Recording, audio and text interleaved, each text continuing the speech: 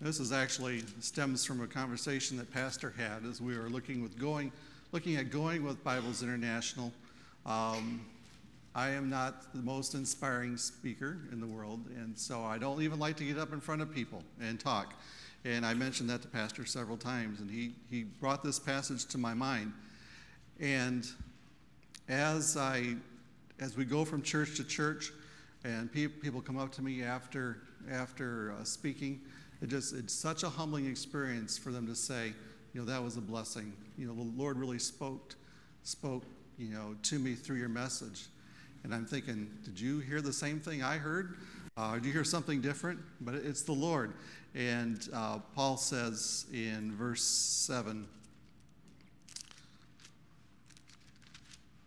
of chapter 12 of Second Corinthians.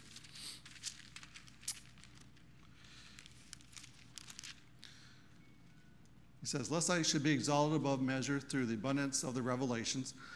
There was given to me a thorn in the flesh, the messenger of Satan to buffet me, lest I should be exalted above measure. For this thing I besought the Lord thrice that it might depart from me.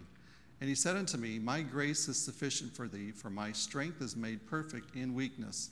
Most gladly, therefore, will I rather glory in my infirmities, that the power of Christ may rest upon me. So I've come to the conclusion, um, although I'm going to do my best uh, when I speak God's word, because I think that you should. Um, I'm not going to aspire to be the world's greatest orator. Uh, I just want to get the message across with the Lord's help and let Him uh, drive the message home. Second thing is, God will provide for His people, through His people. Let's turn to Philippians chapter 4.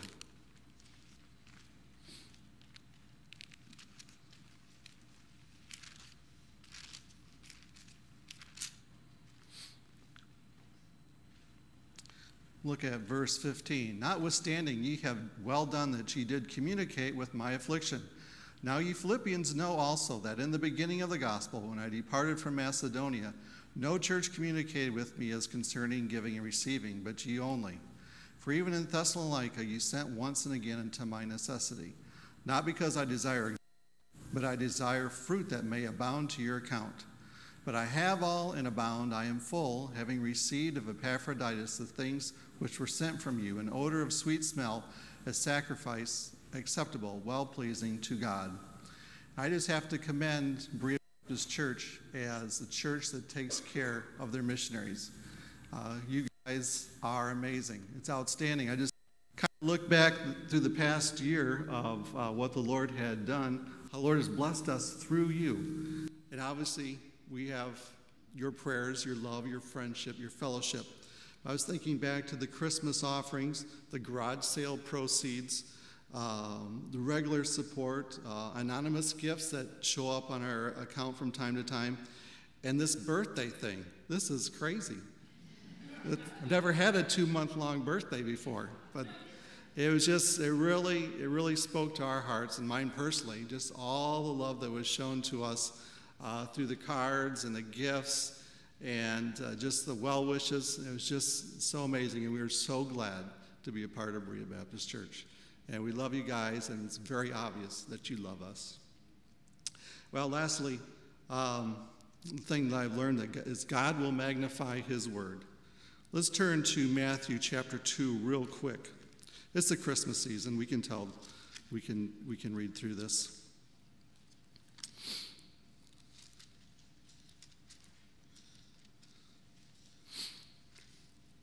Matthew, Matthew chapter 2. Now, when Jesus was born in Bethlehem of Judea in the days of Herod the king, behold, there came wise men from the east to Jerusalem, saying, Where is he that is born king of the Jews? For we have seen his star in the east and are come to worship him. When Herod the king heard these things, he was troubled, and all Jerusalem with him. And when he had gathered all the chief priests and scribes of the people together, he demanded of them where Christ should be born.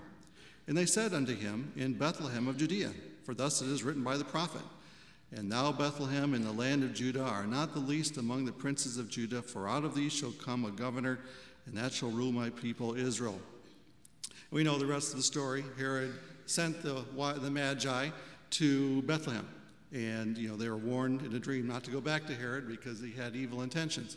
But my question is what about the scribes and the lawyers and the religious people.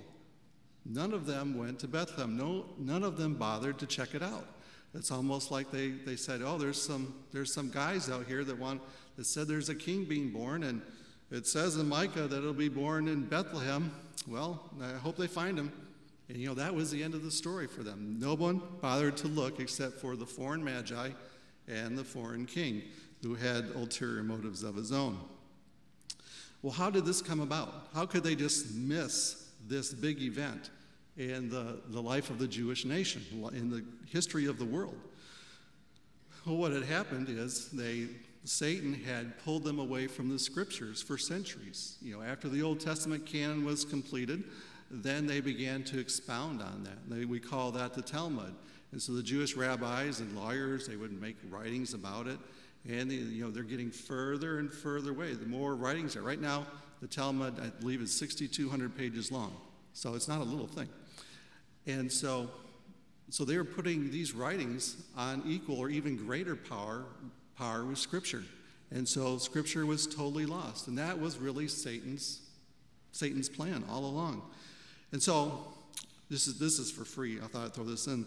Um, do we put the right emphasis on God's word, or do we put more value on what people, commentators, etc., preachers say about God's word rather than what God's word says about itself?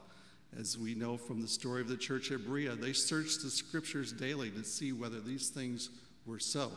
They didn't just take uh, a commentator's word for it. And so uh, that's one thing the Lord has taught me uh, is to really be in His Word and see what God's Word says about itself. Uh, so let's turn to 2 Peter as we close here tonight.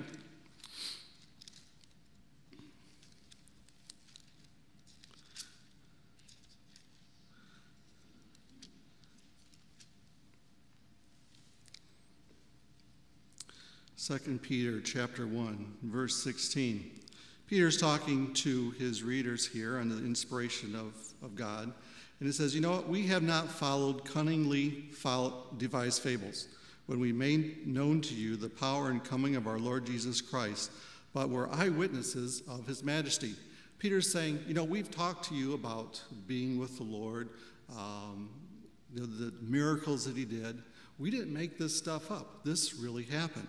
And then he goes on to tell them about the experience that he had with Peter and John on the Mount of Transfiguration in verse 17. It says, For he received from God the Father honor and glory when there came such a voice to him from the excellent glory, This is my beloved Son, in whom I am well pleased.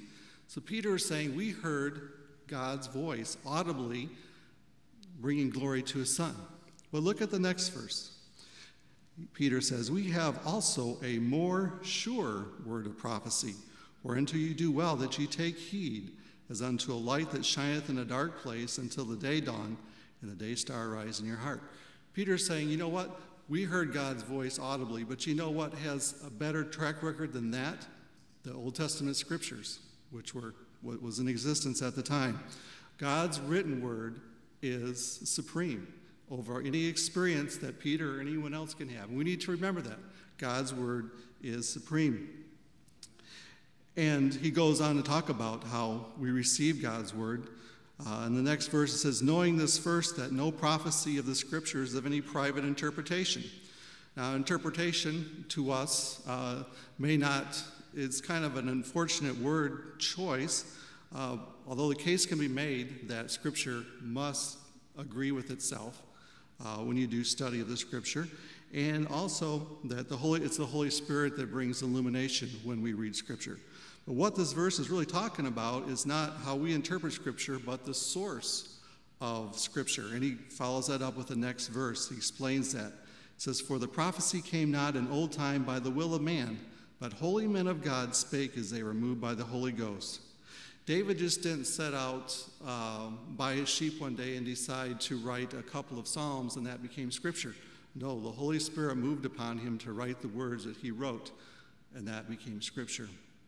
And so these are some things that uh, the Lord has impressed upon my heart this year, and uh, we're looking forward to what He will what He will do uh, in the years to come. Thank you again so much for your, your love and support. It is really a joy to be with you this week. And we look forward to uh, spending time with as many of you as we can.